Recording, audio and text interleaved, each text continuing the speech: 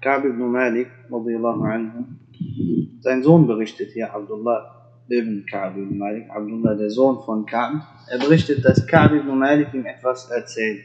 Ka'b ibn Malik ist von den, er erzählt zu den renommierten und berühmten Gefährten des Propheten, sallallahu alaihi wasallam, hatte drei Kinder. Einmal dieser Abdullah, der ihn geführt hat. Da steht ja, er war der, wer Abdullah ibn Ka'b berichtet, und dann steht da, er war der, was? Er sagte, ja, als Führer, an der, an der im Dienst seines Vaters, als Führer an der Seite stand, als er blindete. Sein Vater Ka'b ibn Malik ist blind geworden und sein Sohn Abdullah hat ihn sozusagen geführt. Äh, Ka'b ibn Malik ist im Jahr 50 nach der Hijra gestorben, in Medina, in der Stadt Medina.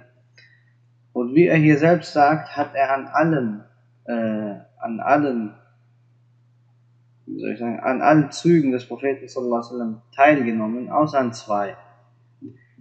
Einmal die Schlacht von Badr, dort war er nicht anwesend, weil die Schlacht ursprünglich gar nicht verpflichtet, es war ja eigentlich gar nicht vorausgesehen, dass es zu einem Konflikt kommt.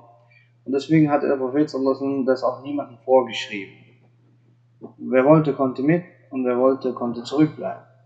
Und deswegen erwähnt er einmal diesen Fall, dass er hierin entschuldigt war, sozusagen. Dann erwähnt er aber einen zweiten Fall, um den dreht die, das ganze, der ganze Bericht hier, der ganze Hadith und das Ereignis hier, handelt um die Raswa von Tabuk.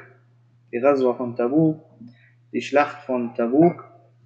Und diese Schlacht war im neunten Jahr nach der Hijra. Es war die letzte Schlacht des Propheten sallallahu alaihi wasallam. Danach ist er, yani, äh, hat er keine, keine Raswa mehr miterlebt. Ähm, also, was haben wir gesagt?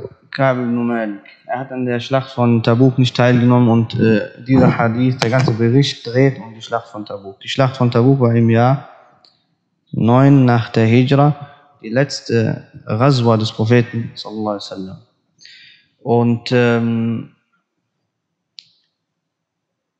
Ka'ab ibn Malik ist einer der drei Dichter des Propheten. Er hatte drei Dichter gehabt. Man nannte sie Shu'ara'u al-Rasul, die Dichter des Propheten. Das waren drei Männer.